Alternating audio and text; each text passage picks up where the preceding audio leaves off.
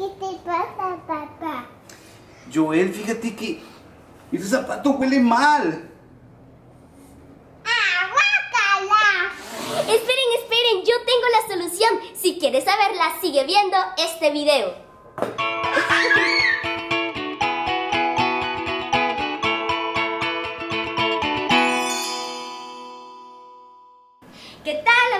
amiguitas inteligentes? Soy Shirel y como cada semana les traigo un nuevo video. Hoy les enseñaremos tres recetas para fabricar nuestros propios desodorantes caseros para nuestros zapatos con ingredientes naturales, económicos y muy fáciles de conseguir. ¿Están listos? Pues nuestra primera receta necesitaremos únicamente arroz y bicarbonato de sodio.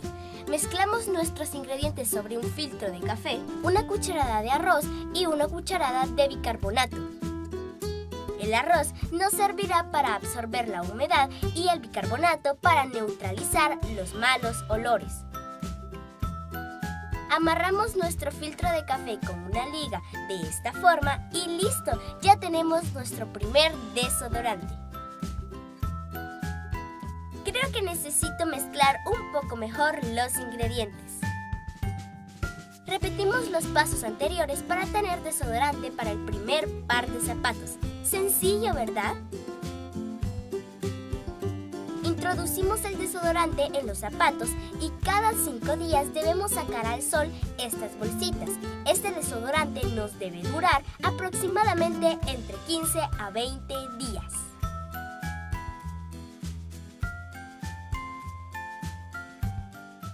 Para nuestro segundo desodorante necesitaremos cáscaras de frutas cítricas, limón, naranja o toronja. En mi caso utilizaré mandarina, pues es la fruta que teníamos en casa. Agregamos clavo de olor sobre nuestro filtro de café y lo amarramos con una liga. ¡Listo!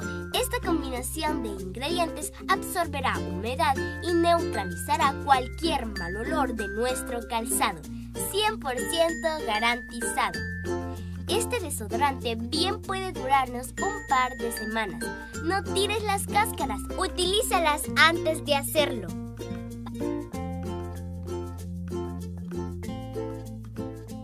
El último desodorante es el más sencillo porque solamente necesitaremos café de grano molido.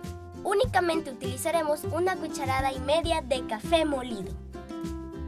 El café es un ingrediente fabuloso para poner fin al mal olor de una forma natural y sin recurrir a productos que contengan agentes químicos. Hacemos otra bolsita para poner en nuestro último par de zapatos. Recuerden, una cucharada y media de café. Lo amarramos con una liga.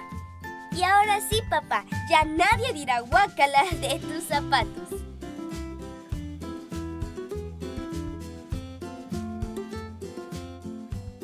Como pudieron ver, hacer estos desodorantes fue algo muy sencillo pero muy muy efectivo. Agradezco a mi amiga Daisy del canal Eco Agarré dos recetas para este video. Gracias, Chirel. Ahora sí, mis zapatos olerán súper rico. Joel, ya no huelen mal. ¿A qué huelen, Joel? ¡Ah, ¡A café!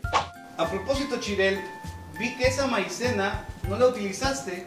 Ah, lo que pasa es que para provocar que nuestros zapatos no huelan mal, hay que proteger nuestros pies para que no causen malos olores. Lo que vamos a hacer es fabricar un talco para nuestros pies con tan solo maicena y bicarbonato. Los mezclamos y ya los podemos utilizar.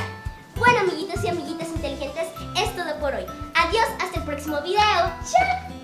¿Encontraste útil este video? Entonces suscríbete a mi canal, dale me gusta y compártelo en tus redes sociales. De esta forma nos ayudas a seguir produciendo este tipo de contenido.